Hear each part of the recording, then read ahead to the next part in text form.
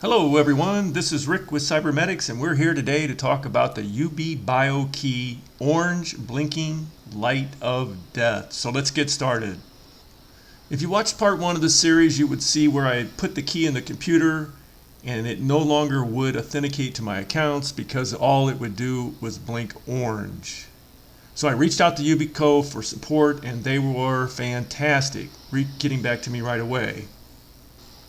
In part two of the series on the BioKey, I showed that Yubico had directed me to this website, how to unblock the biometrics key. You can watch part two of the video if you want to see the details on that.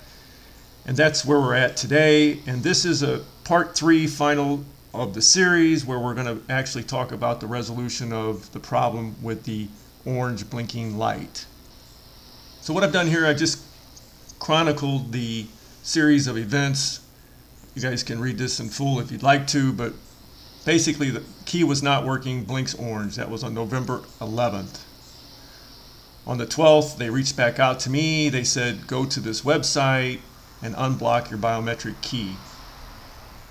So on the 14th, I informed them I completed the process, it worked.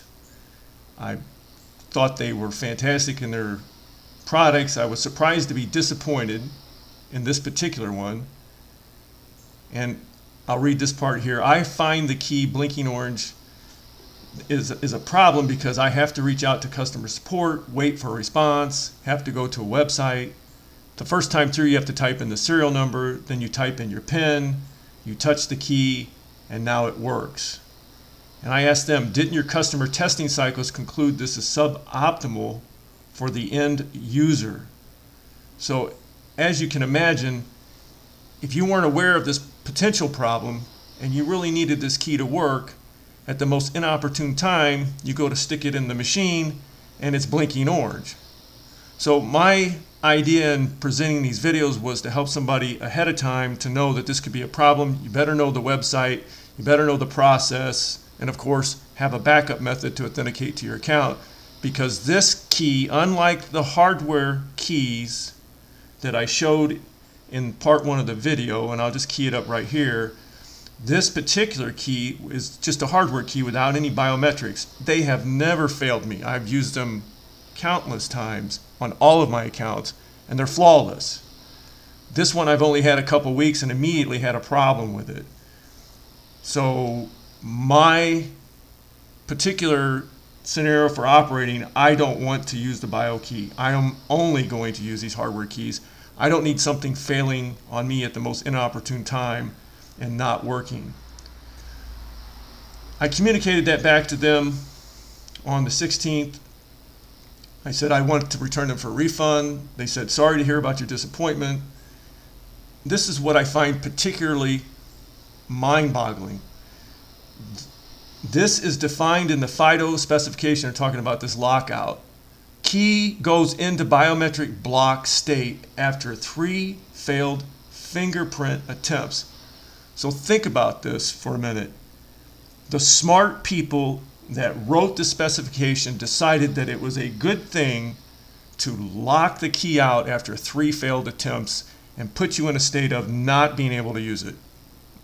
Can you imagine that if you tried to unlock your car three times and hit the button? Now you can't get in your car without having to go to a website type in the serial number of the car, type in the PIN that was associated with the key, and then unlock the key so that you could unlock your car.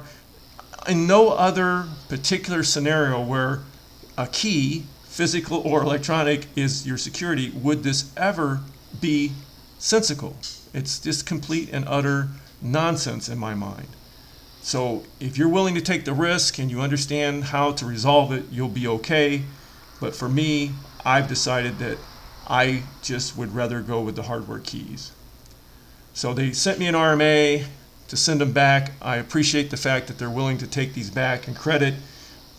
I do have to pay for the return shipping, so uh, you might want to buy these from Amazon as opposed to Yubico directly because Yubico is the one who's who's the vendor selling them on Amazon, and that way, if you wanted to, you could get them returned for you know free. I would appreciate any questions or responses. Uh, your feedback is critical.